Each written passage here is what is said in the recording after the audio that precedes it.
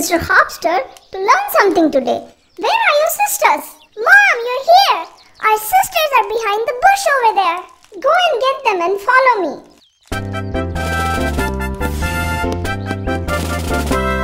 Mr. Hopster, how are you? Doing great, little ducklings. I've been waiting for you. I have something interesting to talk about today. Yay, yay, yay, yay! What is that going to be, Mr. Hopster? Well, come over here. Okay, Mr. Hopster, you guys go ahead. I have some work to do. I'd love for you to stay and check this out. Some other day, Mr. Hopster. Thank you for your offer. Anytime, Mother Duck. We should be done in a little while. See you soon. I'll be back when you're done. See you soon. You know these are the eight planets and the sun is at the center? Collectively, we call this as solar system. Yes, Mr. Hopster, we know that. I'm sure you remember that days and nights happen because the Earth rotates around its own axis. Yes, we remember that. Today, we are going to learn about the revolution of these planets around the sun. What's revolution? Well, you'll see now. The movement of the planets around the sun is known as revolution. When the planet comes back to its starting point, we call it as one full revolution. Wow, that's really wonderful. Thank you, my dear. The path each planet takes around the sun is known as orbit. Orbit? Why is it called an orbit and not a circle? Well, first of all, the path traveled by the planet is not circular. It's in the form of an ellipse. Secondly, orbit is the name of the path that one object in space takes around another. Great! Now we know what's an orbit. Each planet takes different time to complete one full revolution. For example, Earth takes 365 and a quarter days to complete one revolution. Is that what we call one year? Exactly. The time for the Earth to complete one full revolution around its own orbit is what we call as one year. How long do the other planets take to complete one revolution? Great question. Look over here. The closest planet to the Sun is Mercury. It takes only 88 days to complete one full revolution. The second planet is Venus. And Venus takes 225 days.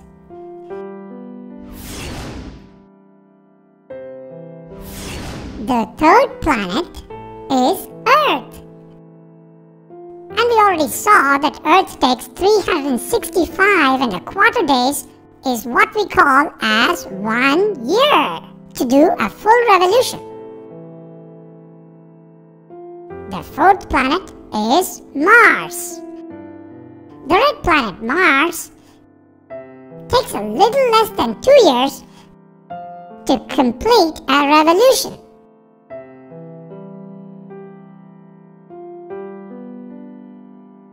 The fifth planet is Jupiter. The largest planet, Jupiter, takes around 12 years for one full revolution around the Sun.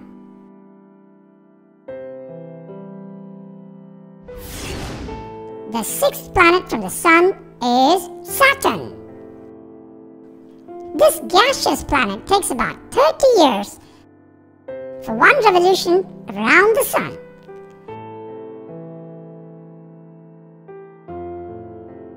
The seventh and eighth planets are the icy planets.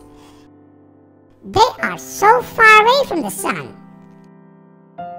So they take very long time. Uranus, the seventh planet, takes 84 years. And Neptune, the eighth planet, takes 165 years for one revolution around the Sun.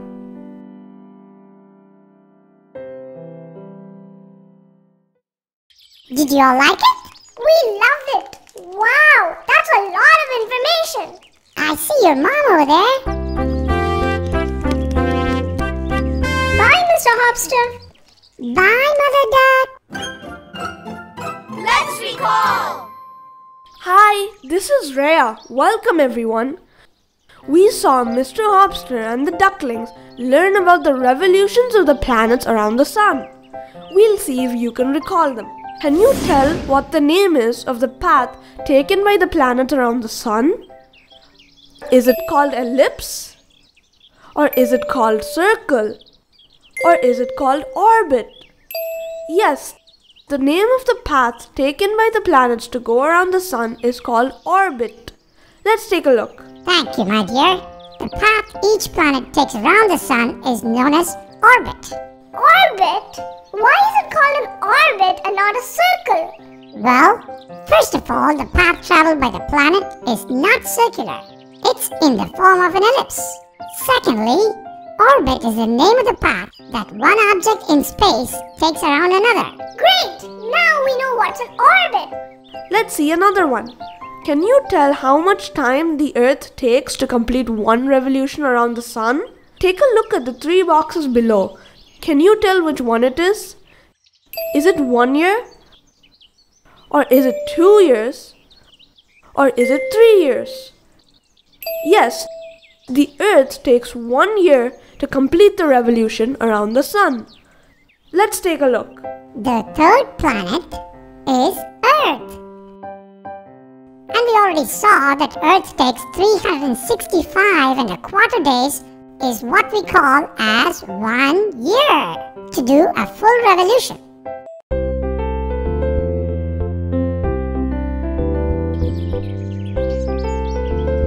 How are you doing, Mr. Hopster?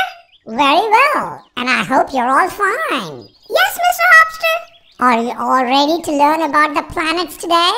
We'd love to, Mr. Hopster. Do you know which planet we live in? Yes, we live in the planet called Earth. Exactly. We look at all the eight planets in the solar system. What's a solar system?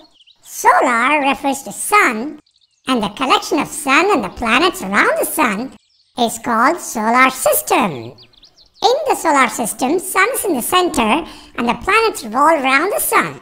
Doesn't the sun go around the Earth? Not so, little one. It's the earth which goes around the sun. I want you to know that our solar system belongs to a galaxy called Milky Way. Hey, Milky Way, Milky Way. Yes, duckies. Milky Way is a galaxy which has a lot more planets. Why is the galaxy called the Milky Way? Good question. It appears as a milky band of light in the sky when you see it in the dark area. Did you know our solar system is more than 4 billion years old? Billion years. That's a long time. Yes, that is a long time ago. Anyway, we look at our solar system which has the Earth. Okay, look over here.